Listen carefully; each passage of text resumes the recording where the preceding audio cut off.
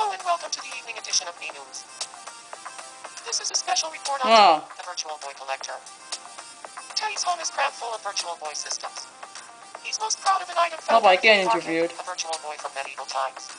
Teddy had this to say. In the future, I want to turn my home into a museum for Virtual Boy systems. We wish him the best of luck with that. We asked some islanders for their thoughts on the matter. That new set my Yeah. heart racing. I see. That's pretty newsy news. Okay. Thanks for watching. For your 7 o'clock News, this is Raya G. Halche, signing off.